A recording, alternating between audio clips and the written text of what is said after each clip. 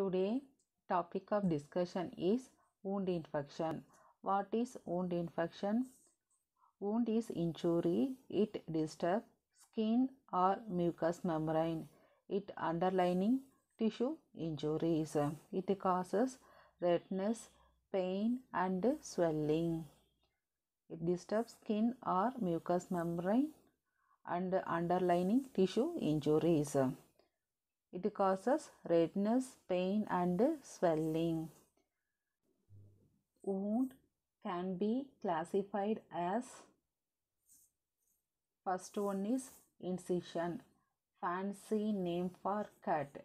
It is typically narrow, medium, deep and bleed profusely. Wound infection there are basically two way that wound can get infected. They can get infected from the initial wounding incident. Either that causes the wound has some microbes on it or the skin of the person being wounded will also have microbes on it.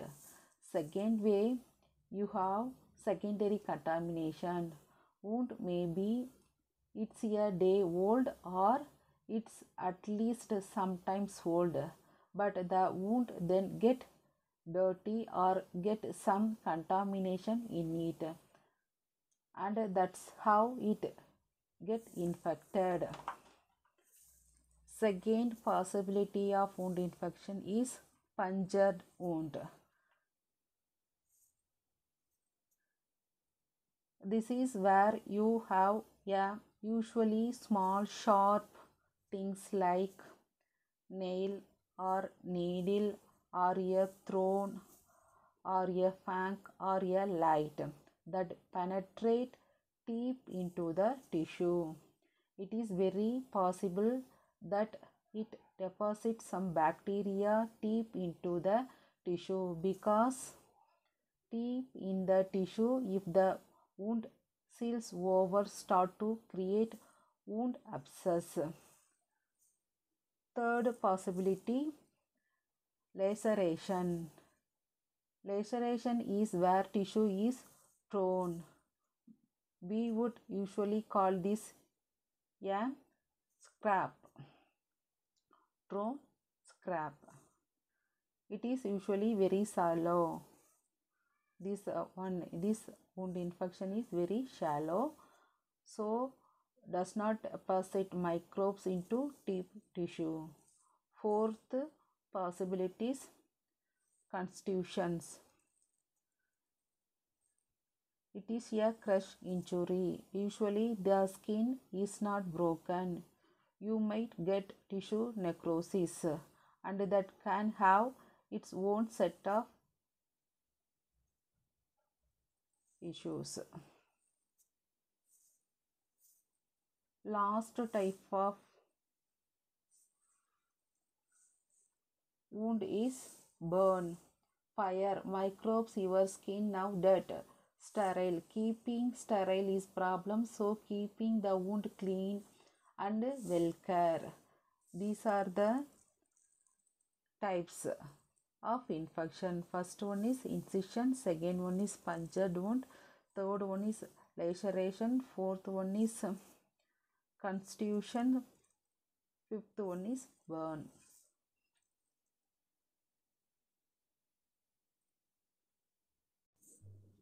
Next, wound abscesses. Abscesses, a pathogen contamination, typically bacteria wound infection almost bacterial infection. Very few viruses example hiv and other bloodborne viruses can infect you. Bacteria is main way to spread. Few fungi also causes wound infection. A localized collection of pus surrounded by body tissue. Abscess formation help to localize infection Microorganisms in abscesses are potential source of infection if they escape from localized area.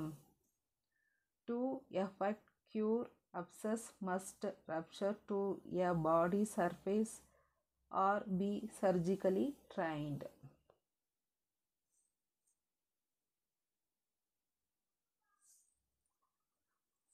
Next, common bacterial wound infection include staphylococcal wound infection, group A streptococcal wound infection. Next, Pseudomonas aeruginosa.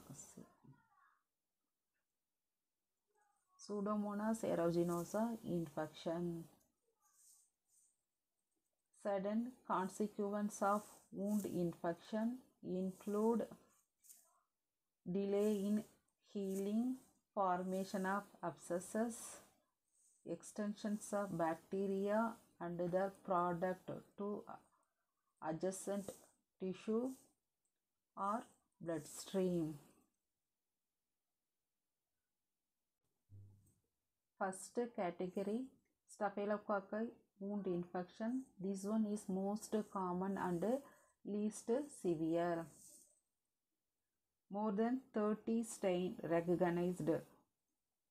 Two are that Staphylococcus aureus and Staphylococcus epidermidis. Both are pyogenic, meaning produced pus. Significance infection, it can causes fever depending upon the virulence factor that organism involved to produced toxic shock symptom TSS. These both organisms, Staph aureus and epidermidis, producing pus, then causes fever depending upon the virulence factor. They are producing toxic shock symptom. Staphylococcus aureus are most of coagulase causing blood clotting. Then most of them clumping factor bacterial wound colonization. Then some of them protein a from phagocytic cells. Some of them going to have alpha toxin. It produced hole in host cell membrane. Lysis blood cell or other cells. Alpha toxin lysis blood cell and other cells. Next one is staphylococcus epidermidis. This one is the predominant for skin infection.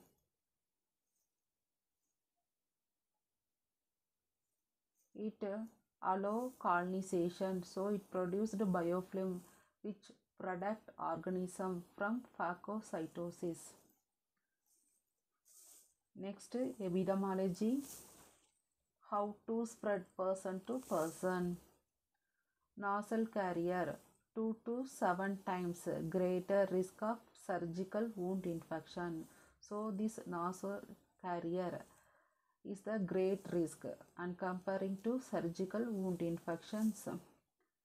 Risk factor advanced age immunosuppression or poor health then prolonged post operative hospital stay. These are the risk factors. Then preventive method cleaning wound removing dirty or crushed tissue then prompt closure then pre surgical anti staphylococcal medication. We will take treatment for anti staphylococcal infection. Then treatment apply ointment and antibiotic which stimulate reoperative process in wound. So wound infection notes format first introduction then classification.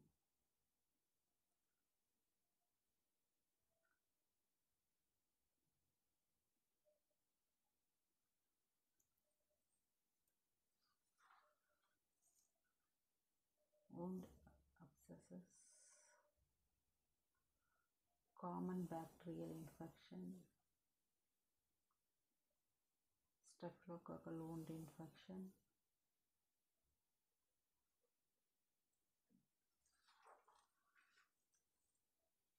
Staph aureus, Staphylococcus epidermidis,